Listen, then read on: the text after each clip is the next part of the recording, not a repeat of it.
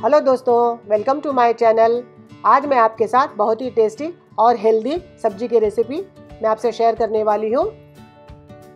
Same की फल्ली की सब्ज़ी। इसको बनाना बहुत ही आसान है और ये हेल्थ के लिए भी बहुत ही अच्छा होता है।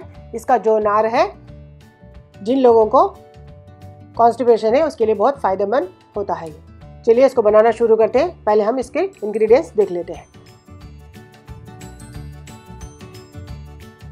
400 ग्राम मैंने सेम की फली लिया है। इस तरह से मैंने इसको काट कर चेक कर कर धोकर रख लिया है। आप चाहिए तो इसको बारीक भी काट सकते हैं। एक मीडियम साइज़ के टमाटर, थोड़ा सा कड़ी पत्ता, एक कटे हुए प्याज, एक टेबल स्पून कश्मीरी लाल मिर्च का पाउडर पाव टी स्पून हल्दी पाउडर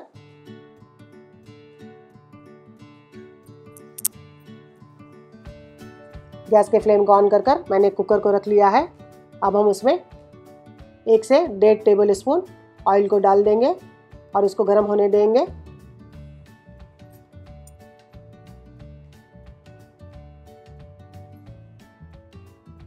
आधा स्पून हम उसमें राई को डाल देंगे।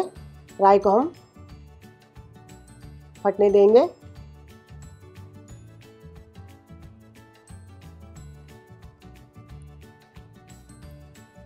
देखिए, हमारा राई अच्छी तरह से फट चुका है। अब हम इसमें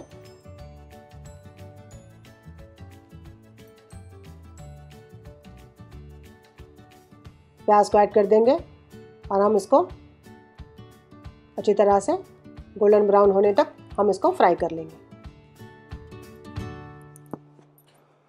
अब हम इसमें कड़ी पत्ते को भी ऐड कर देंगे और इसको अच्छी तरह से हम तल लेंगे।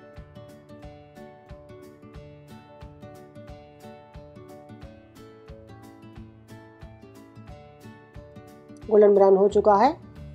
अब हम इसमें टमाटर को भी ऐड कर देंगे।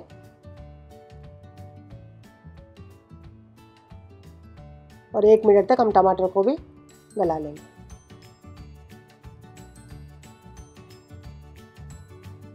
टमाटर भी गल चुका है। अब हम इसमें सब्ज़ी को ऐड कर देंगे।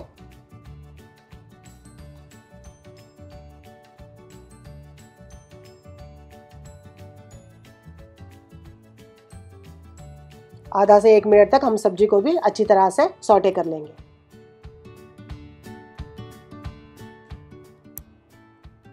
स्वाद अनुसार नमक को ऐड कर देंगे।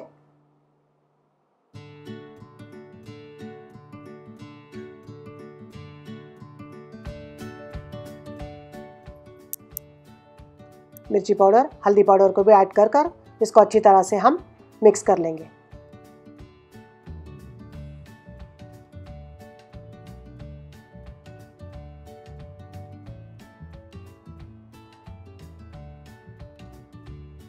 दो से तीन टेबल स्पून हम इसमें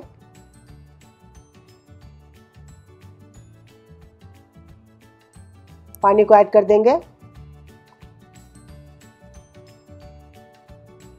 कुकर के ढक्कन को बंद कर कर एक सीटी आने देंगे हम।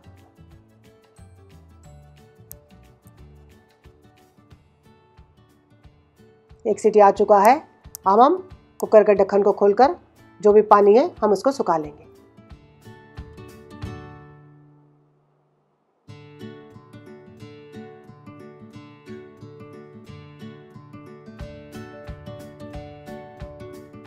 हमारा सेम की फली हुआ तैयार। अब हम इसको सर्विंग प्लेट में निकाल लेंगे। और इसको गरम सर्व कीजिए रोटी के साथ या दाल चावल के साथ।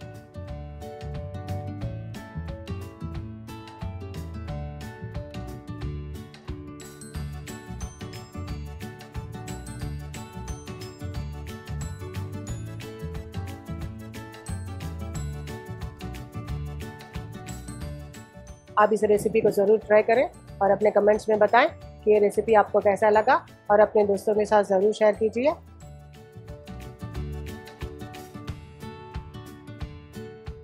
अगर आपको मेरा ये रेसिपी अच्छा लगा तो आप मेरे वीडियो के नीचे लाइक का बटन ज़रूर दबाएँ और मेरे चैनल को सब्सक्राइब करना ना भूलिए।